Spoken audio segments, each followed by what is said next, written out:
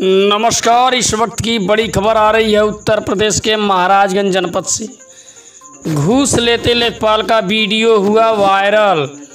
निचलौल तहसील अंतर्गत आए दिन घूसखोरी का मामला चरम सीमा पर है। इन दिनों यूपी के कुछ अधिकारियों को घूस लेना आम बात हो गई है और सुर्खियों में रहने की आदत सी बन गई है। जी हाँ मामला निचलौल तहसील का है। इतना ही नहीं, प्रतिदिन रिश्वतखोरी का मामला उजागर होने के बावजूद भी कोई भी अधिकारी घुसखोरी करने में कोई कसर नहीं छोड़ रहा है। ताज़ा मामला निचलौल तहसील का है।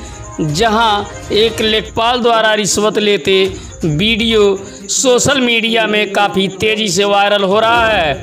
वीडियो फुटेज में पहले तो लेखपाल द्वारा पीड़ित युवक से एक कागज़ लिया जा रहा है। फिर रूम में जा रहे हैं और लेखपाल महोदय रूम से निकलने के बाद उक्त युवक से पैसे लेते नज़र आ रहे हैं। एक तरफ़ जहाँ सरकार रिश्वत मामले में टीम गठित कर जाँच करा रही है। वहीं अधिकारियों का मनमानापन चरम सीमा पर है।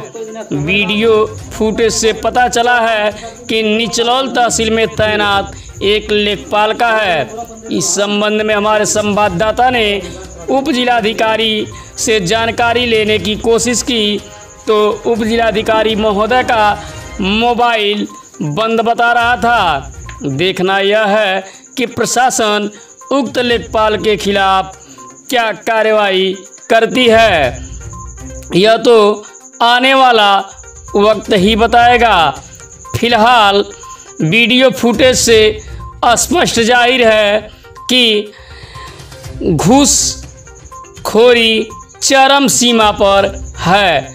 खासतौर से महाराजगंज में इस समय घूसखोरी चर्चा का विषय बना हुआ है आइए देखते हैं इंडिया पावर न्यूज़ की खास रिपोर्ट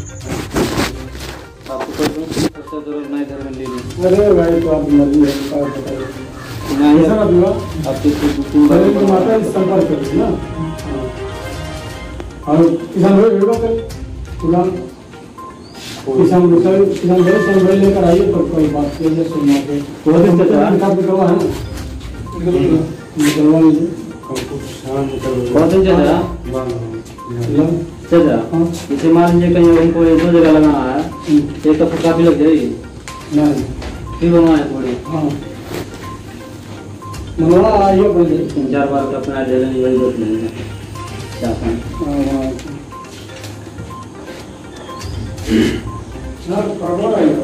तुरंत फ़ोन में कर लेनी है ए फिर तुम लोग के भेज दो एटीएम नंबर लिख के बना- बना दीजिए हमसे बना। कुछ पैसा नहीं ले। कुछ चलो, का बाकी रह रहा है। चलो ना? बिना बना दो। वो बना दो। नहीं देखिए हमारे गाँव में इतना बदनाम है गाड़ी चल रहा है? नमस्ते। अपने जगह चला है क्यों भेज दो? लेकिन ये कि दूसरों ने कहीं ना कहा कि का हमारे लिखा रहे दूसरे क्यों ना ही हमारा तो तीन चार बार आपके लगे गए ना?